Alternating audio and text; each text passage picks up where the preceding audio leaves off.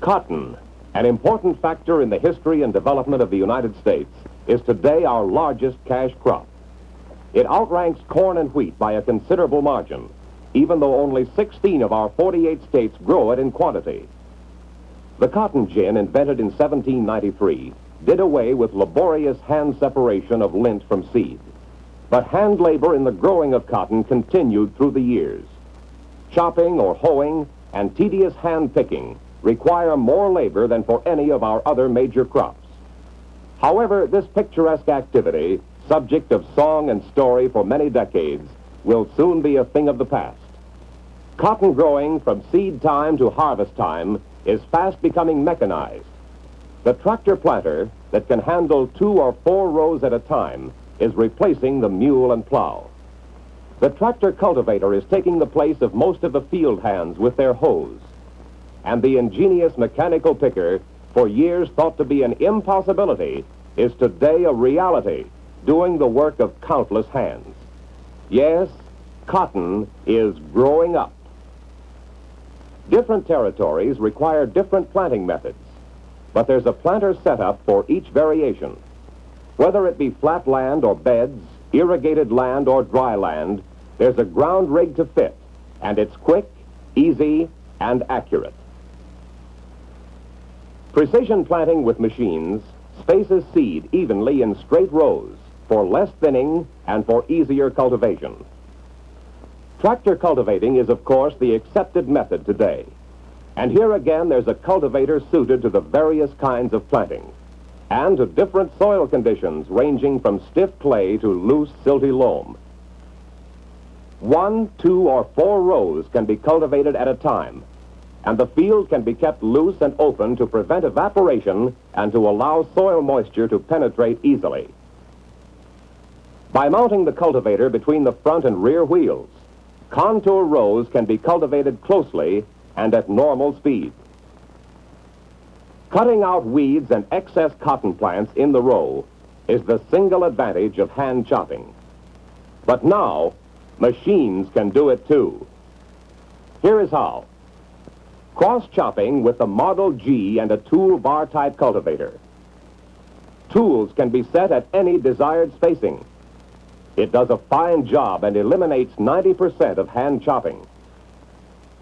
Quick change wheel widths and adjustable shovels make it possible to do cross-chopping with the larger tractors and with the same results. Practically all of the cultivators today can be set up to side dress the crop with fertilizer after it's started to grow. Many cotton growers prefer this method over putting out all the fertilizer at planting time. Another new technique is pre-emergent spraying of the ground with weed killer at the time the seed is planted. It is being tried with success in some areas. Wide press wheels pack the ground over the seed, and immediately the pre-emergent solution is applied. The spray provides a protective band on both sides of the row. The young cotton plants push up through this coating, but no weeds or grass get through. They are killed on contact with the chemical. With no weeds between the plants, ordinary machine cultivation with the rows will keep the field clean. This field of healthy plants has never been touched by a hoe. Precision planting together with weed eradication in the row has been accomplished entirely by machine with the help of a pre-emergent spray. Inventing a machine that would successfully do the work of the cotton picker's fingers was not an easily solved problem. Many persons devoted much time, thought, and effort to it and the passing years with rising labor costs made the need for such a machine more urgent. Hand picking was a bottleneck in large-scale production. In devising a mechanical picker, one would naturally try to duplicate the plucking and stripping action of the fingers. But strangely enough, an entirely different action proved successful. It was based on a very simple thing. The tendency of cotton fiber to cling to anything moist such as a finger dipped in water.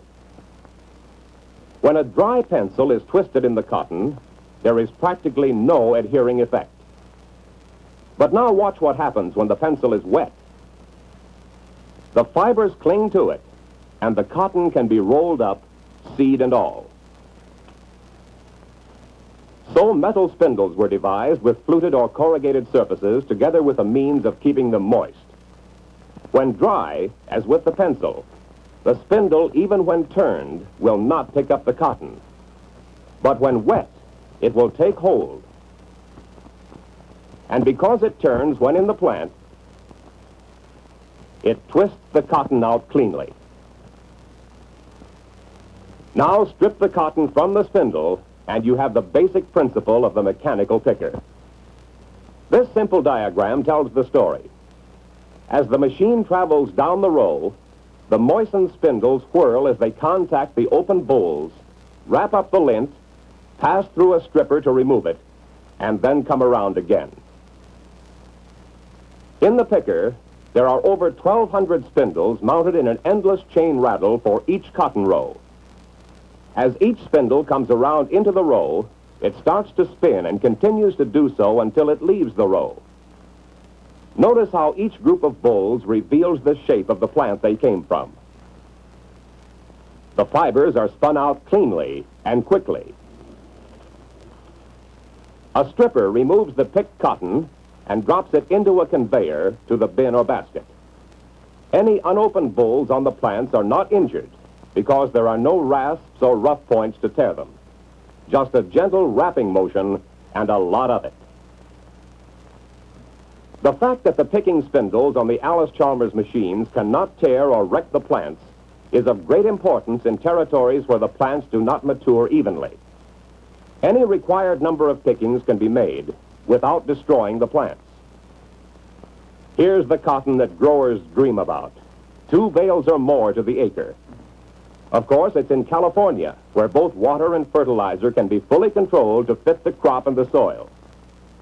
This machine is picking 18 bales of top-grade cotton in a 10-hour day. Here's another unusual way of making time. Unload on the run and get back into the rows.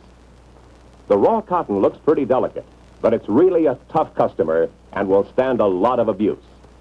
And of course, in irrigated regions, you don't have to worry about sudden rainstorms. This is the second picking of a California field that also turned out more than two bales to the acre. That's a lot of cotton, and it would certainly require a lot of help to pick by hand. Arizona also grows some fine crops of long staple irrigated cotton. Yields per acre compare with those of California, but acreages are rather limited. Texas also produces excellent cotton. And of course, it has the big fields where a two-row picker is a natural. These two machines are working on the edge of the Rio Grande Valley. The Delta is real cotton country, all the way from Missouri down through Mississippi. Here's a two-row unloading shop that tells the story of the big basket that holds a lot of cotton without being top-heavy. For the smaller acreage grower, there's a one-row picker using the same general design and picking unit mounted on a two-plow model CA tractor. It does the same clean, thorough picking job without tearing the plants to pieces. It picks into a smaller bin or basket, which is dumped by the hydraulic mechanism of the tractor. Notice that it dumps completely over. This picker is working in Mississippi. This one found its place in California in the irrigated cotton. The single row can be mounted on the larger WD tractor if desired. In either case, the tractor can be quickly detached from the picker unit and converted to a regular field tractor. Here's one that is listing up the ground to get it in shape for irrigation and another crop. Yes, all through the cotton states, from California to the Carolinas, New methods are replacing the old. The hoe, the mule, and the long sacks are passing out of the picture. The man with the hoe now rides the row. Today it's not only possible but profitable to grow cotton mechanically from seed time to harvest time. To grow more and better cotton on fewer acres with greater return for less work. Time waits for no man, and with proper equipment, no waits are necessary.